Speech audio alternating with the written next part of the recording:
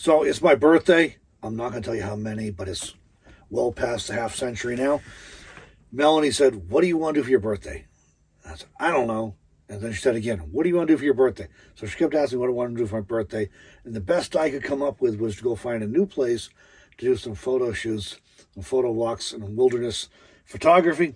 And we're taking it up a step, though. We're bringing more and different cameras this time.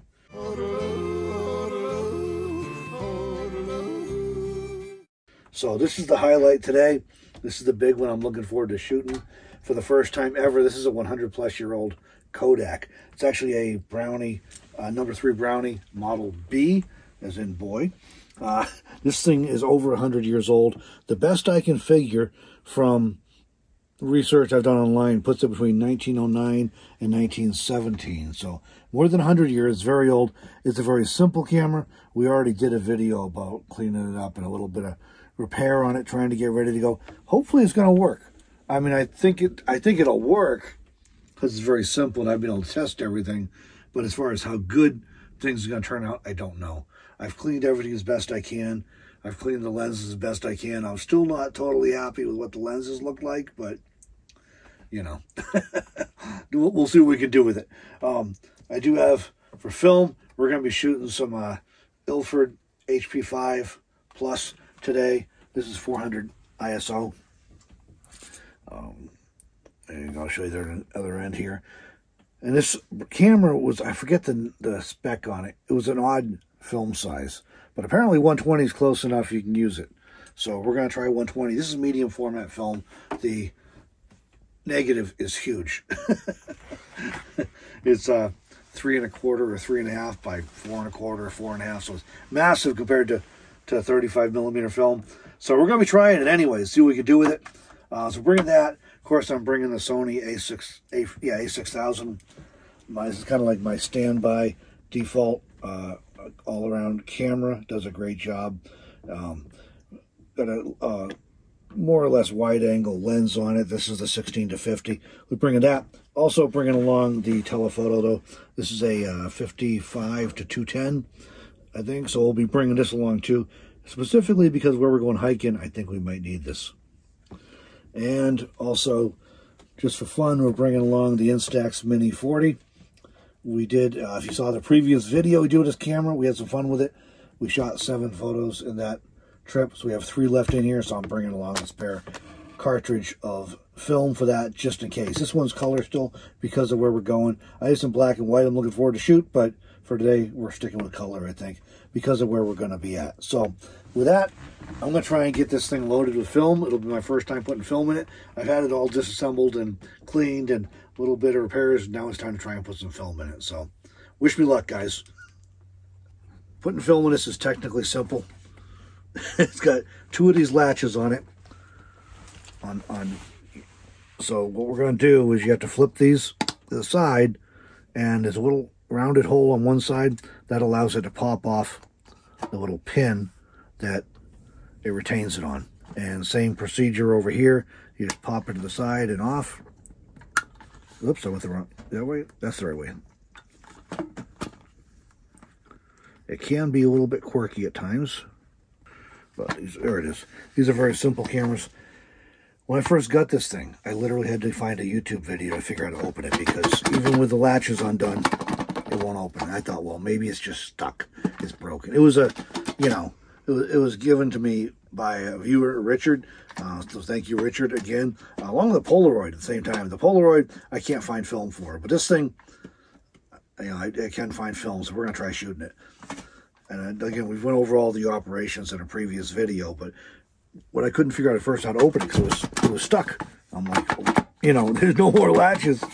What I finally learned was that the film advance knob here, which just turns to advance the film, is not like automatic or anything. You know, it's, again, no batteries. It's more than 100 years old.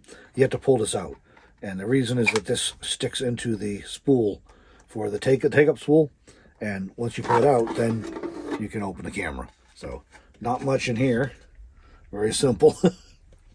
but on this end, this is where we're going to put the film. The new film goes right here. And there's these little spring-loaded tabs on either side that holds the roll, the spool in place. It's uh, it's again we're shooting 120 roll film, and then it's going to go over this roller here and across the back. This is the negative area. So you can see how big this thing is. It is just massive. Again, we go over all the specs in a previous video, but another roller here that roll comes over, and then down to the take up spool, and that's where on this side that's where that film advance knob goes. So we're gonna put some film in here. Again, we'll start over, put it over, roll over here, and bring it over, and connect to this spool. Get it started, then we'll put everything back together. And we're gonna take this thing out for a photo shoot today, up to a really cool canyon here in the Arizona desert. So let's see what we can do here with this Ilford 120 film. Now, I have not shot film in many, many years. And going back to before I was seriously into photography, and I've never shot roll film like this. I've always shot stuff that was in cartridges or, or a disc. Those of you remember those Kodak disc cameras. so this is a little bit nerve-wracking.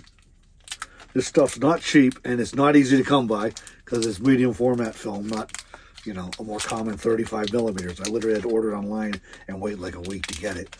So, but I did get two of them. But we're only shooting one today because we want to make sure it's going to work before if we have any other things we need to fix before we burn up two rolls. And then, of course, we have to send it out for developing and pay for that again. okay, there we go. There it is. Ilford HP5 Plus ISO 400 unexposed. All right. Let's see what we can do with this thing, huh? And, well, by the way, this stuff's, you know, similar in price to 35 millimeter film, but you only get eight exposures. So it's got a hatch pattern on either side that will receive this little piece there and that is how it gets advanced through the camera. Are you all as nervous as I am right now? Melanie looks cool as a cucumber back there behind the camera. But... All right, here goes nothing. Uh-oh. I'm going to need some spacers. This is too narrow. All right, we'll come back at you once we get some spacers. my understanding was this was going to fit right in there. So we got some uh, modifying to do. All right, I was really looking forward to trying this out and seeing what we could get out of it. Well, it's a fail. what I read was the 120 film was supposed to fit perfectly in here. Maybe a little snug, so I might have to file down or buzz down the ends of the spool a little. As you can see, it clearly does not fit. well, it fits, but yeah, we're going to need to like customize a spool if we wanted to sit there. And, you know, as Melanie does, does it fit over the negative space? And it really does not. It's too narrow. But this will still work. This camera will still work that way. I've actually seen people do two 35 millimeter rolls sat side by side on a custom spool. So you can do that. Um, so we could make this part, I think, will work all right. It'll it'll fill the, the width. Um, this part, we got to figure out a custom spool or some spacers or something to make it all fit in there correctly. So not a big deal, um, but it's a fail for today, and we'll have to get back to it. This one, this is the correct size. The, the catch is that these brownies, there were a number of models. They were very popular cameras. They sold millions of them, but there were there were several different models with different size films. And so apparently, what I had, re had read was that the uh, I, I, think it was actually 116 or 117 or something crazy like that. It's no longer made. So that's why you might have to shave down the spool a little on the 120 to get it to fit.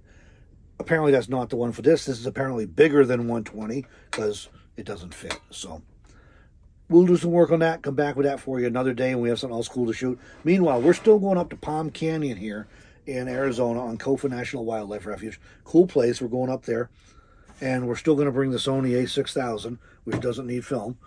we're going to bring the Instax Mini 40, which does need film, but we already know for sure what that takes. So we're going to have a good time. Hope you guys uh, enjoy this vid this uh, outing. Hope you can laugh with me at my film fail. I paid 20 something dollars for two rolls of film that's the wrong size. So we'll do something with it. We'll either get it fixed or we'll maybe I'll have to buy another camera that does take 120. I may not live to see another birthday if I do that, but all right.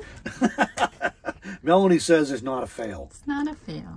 There you go. I don't know if she's just being nice to me or she is a trained scientist, so she might be going with the whole Edison theory of not failing a hundred times on a light bulb, but finding out a hundred ways it didn't work. So we just found out one way that you cannot put 120 medium format film in this camera, and that is if it's one that takes bigger than 120 and you don't have a custom spacer. So we're going to have some fun with these other cameras that we do know work though.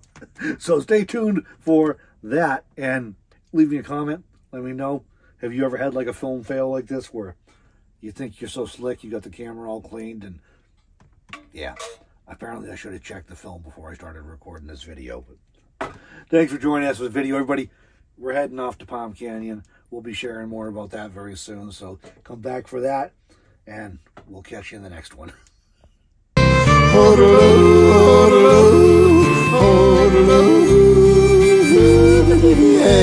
Hello.